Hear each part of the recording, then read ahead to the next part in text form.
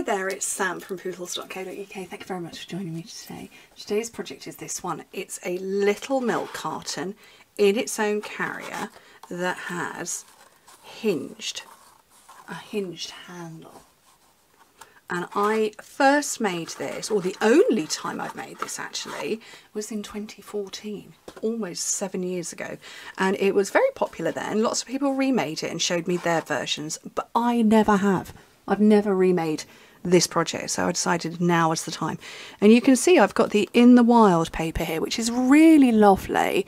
Um, and I decided not to go with any stamping or die cutting. I just wanted to make it about the paper. And these um, they make great favours. They're not very big. It's a shade over two inches. Well it's not even that. It's two inches by two inches.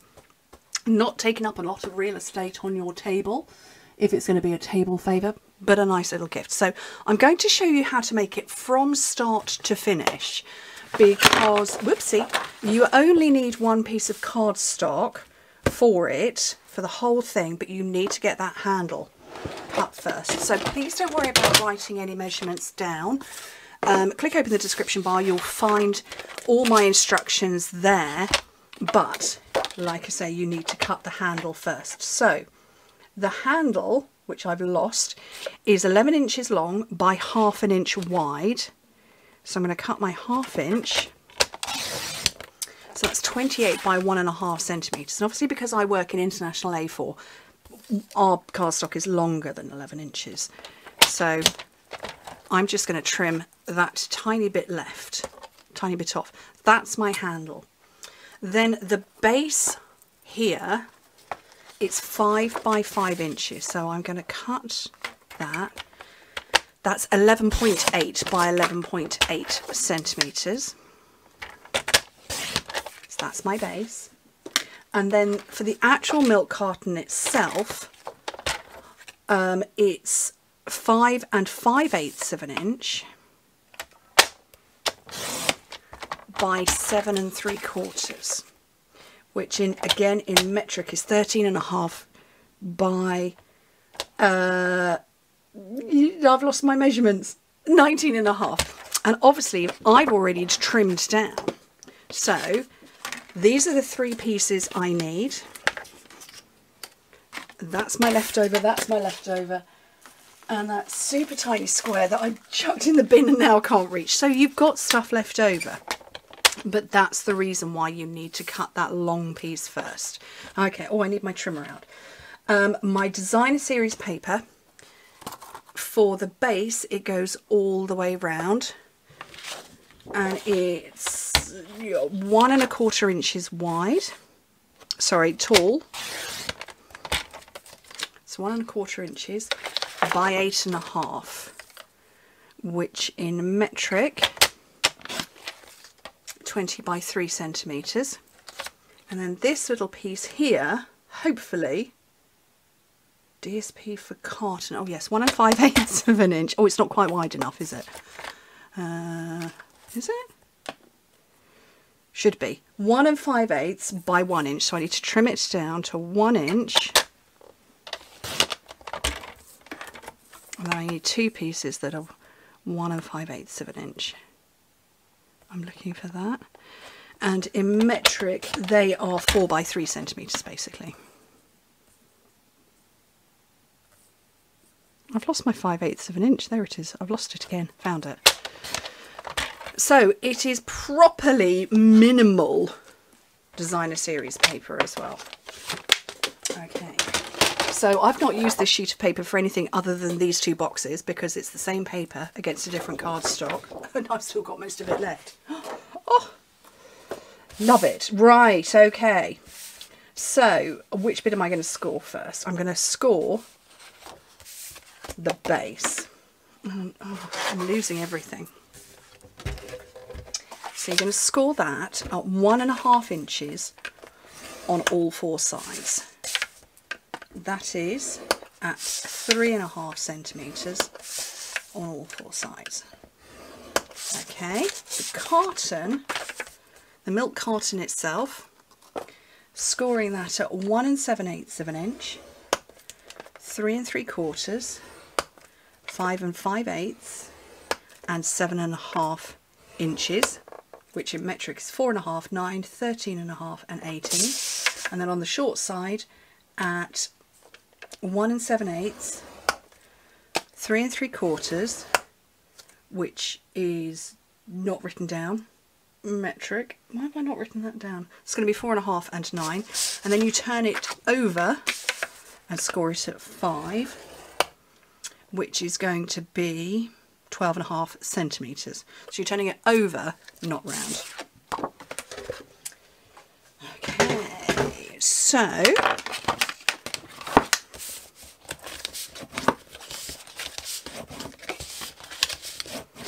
burnishing all my score lines.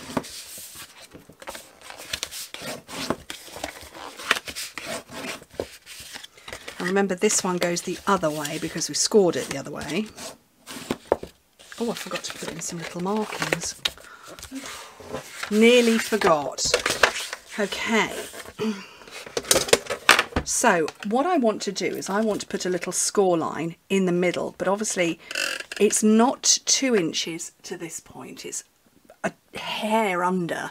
So I'm just going to move my cardstock up a teeny tiny little bit so that I can score straight down there.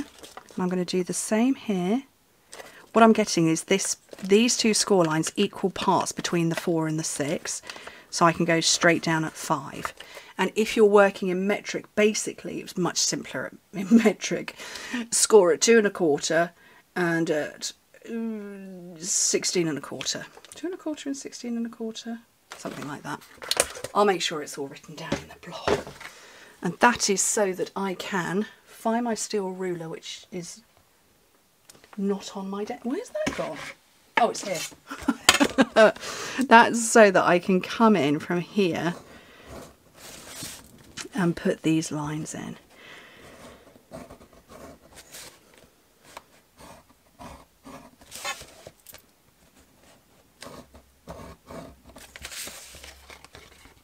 And that's going to create this part in here.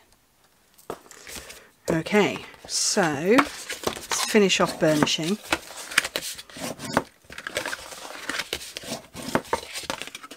And that's a teeny tiny little bit there. Okay, so get my scissors out. Oh, biggest scissors in the world. That's a better pair. And cut straight down the rectangle, wedge into the square and hack a bit off. That's so scientific, isn't it? hack a bit off. That's so very me. And just keep rotating around.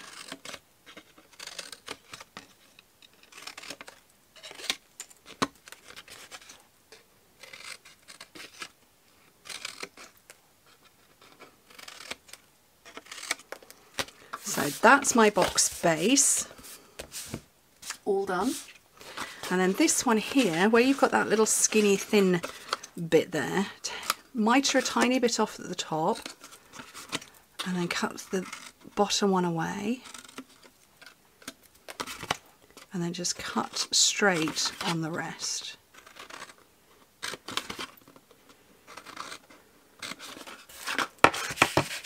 and that's all been separated. Now I've got these two little pieces of designer series paper. They're going to sit on these flat panels at the top.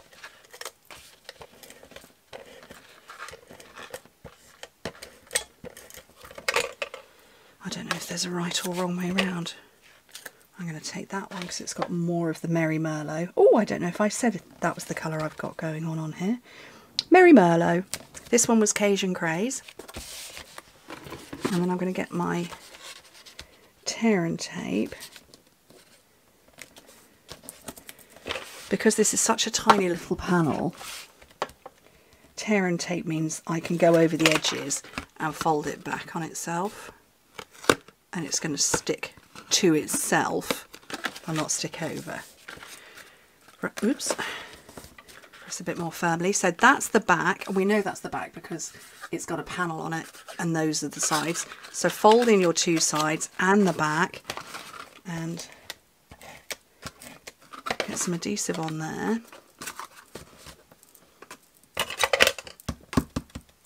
And then obviously I've put these score lines in already.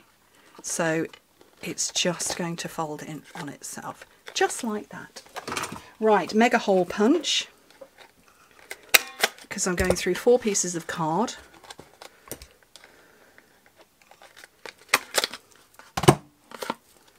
And I've got my ribbon, assuming the kitten hasn't stolen it. She keeps stealing my ribbons off my desk. Berry and Sorrel, at least they don't actually remove the ribbon. They play with it, they don't actually take it. But Fauna does. She thinks I've given her this wondrous gift of all this beautiful ribbon for her to actually remove from my desk. And it's there for her pleasure and entertainment. It's so not. Okay, I'm just putting that clip in place just to hold this shut. Oh, it's just twanged off.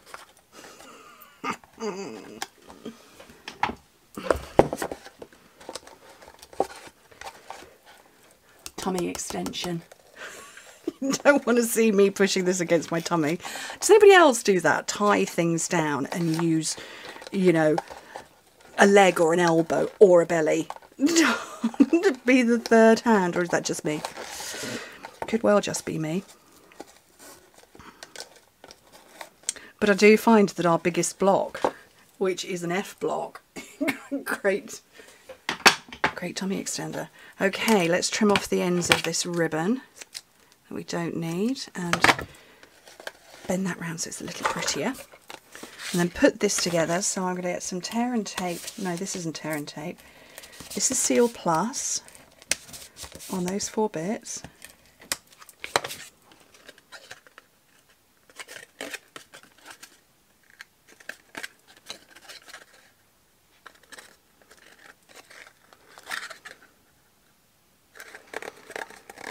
Okay, and then my long strip of designer series paper. Um, there is no back or front, but I'm just going to start it sort of about in the middle. Oh, hello, Sorrel. Oh, kitty assistant. Oh, blooming heck. and I can't put I can't put this down either. Okay, so I've just gently bent it round so that it fits. So I'm going to put some little dabs along the, oh she's tail in the face just along the way. Oh she's headbutting me. That's lovely. Thank you Sorrel.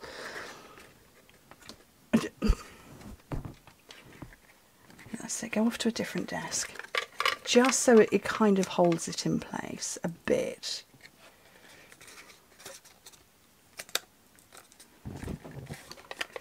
bend it round again.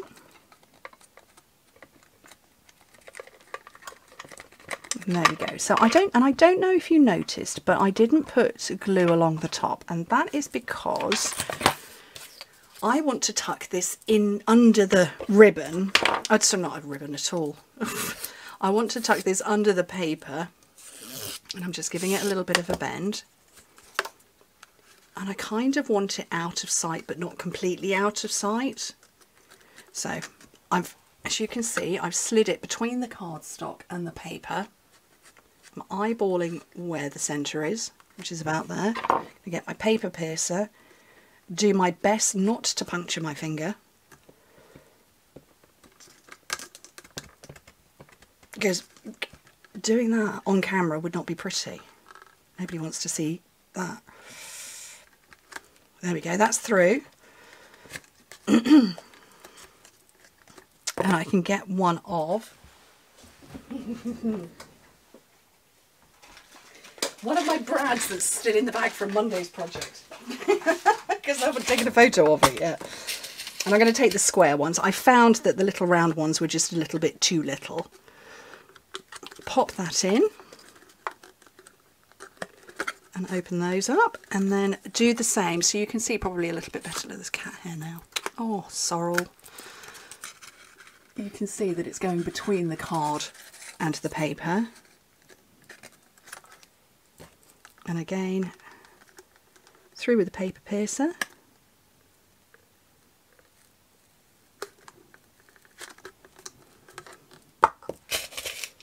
Get another white one.